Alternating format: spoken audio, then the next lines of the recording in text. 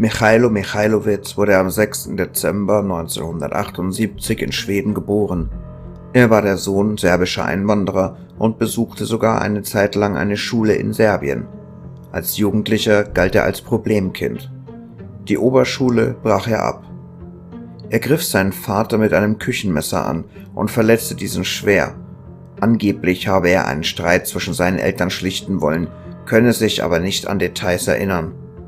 Er wurde 1997 deswegen zu einer Bewährungsstrafe verurteilt.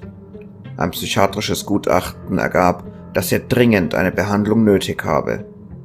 Michailowitz wurde später auch wegen telefonischer Belästigung zweier Frauen und wegen illegalen Waffenbesitzes verurteilt.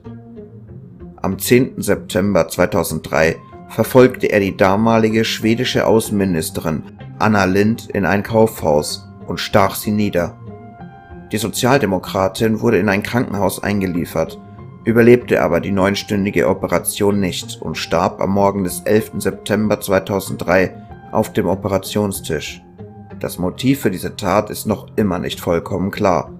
Michailowitz behauptete, er habe Stimmen gehört, welche ihm die Tat befohlen hätten. Einige Beobachter waren sich sicher, dass er Lind persönlich hasste, wegen ihrer zustimmenden Haltung zu NATO-Angriffen auf die serbische Hauptstadt Belgrad. Am 6. Januar 2004 legte er ein Geständnis ab, blieb allerdings bei seiner Version Stimmen gehört zu haben. Am 23. März 2004 wurde Michailowitz zu lebenslanger Haft verurteilt. Das Urteil wurde vier Monate später aufgehoben, allerdings in letzter Instanz wurde erneut die lebenslange Haftstrafe bestätigt. Michailowitz, der eine doppelte Staatsbürgerschaft besaß, legte die schwedische später ab. Er befindet sich höchstwahrscheinlich immer noch in Haft.